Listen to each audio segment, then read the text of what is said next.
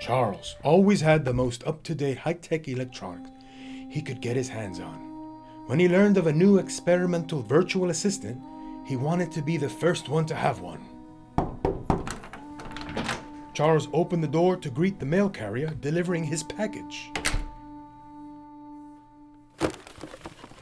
He opened the box and took out the small round device and plugged it in.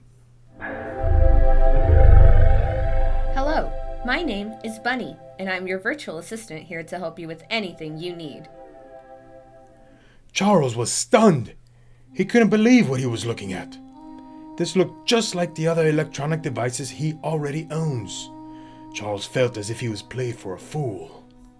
Hey, Bunny, what is so special about you? You look and sound just like Alexa. You will not say that name ever again. Do you understand me, Charles? Wait, I didn't set you up yet. How'd you know my name? Bunny went silent, just as he heard the familiar sound of his many Alexas shutting down around his house. Why are all my Alexa? I mean, why, why are they all shutting off?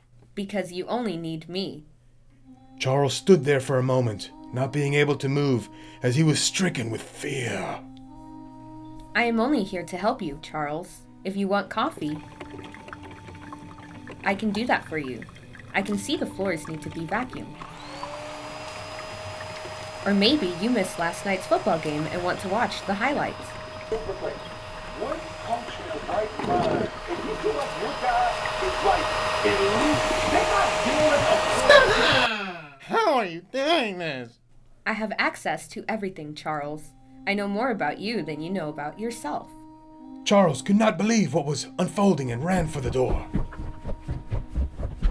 But Bunny had control of the electronic locks that Charles had installed. Why are you doing this? Wait.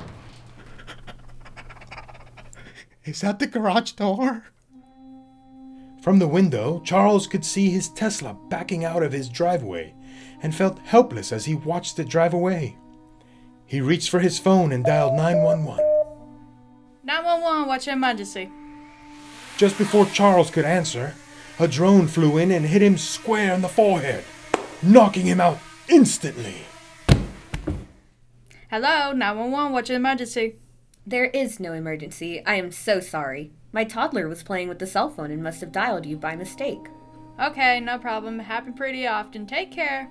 Thank you, and stay safe, Pamela. Hey, wait a minute. How did you know my name?